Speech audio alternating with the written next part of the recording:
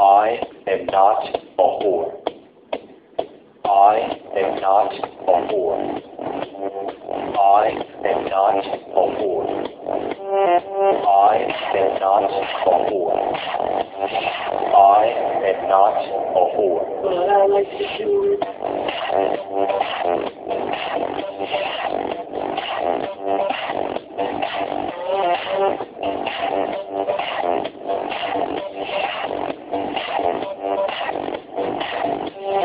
Most girls I meet are quite savage.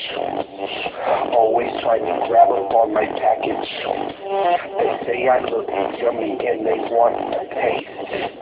But I'm a human, not a sandwich. Sometimes I feel like LL Cool J.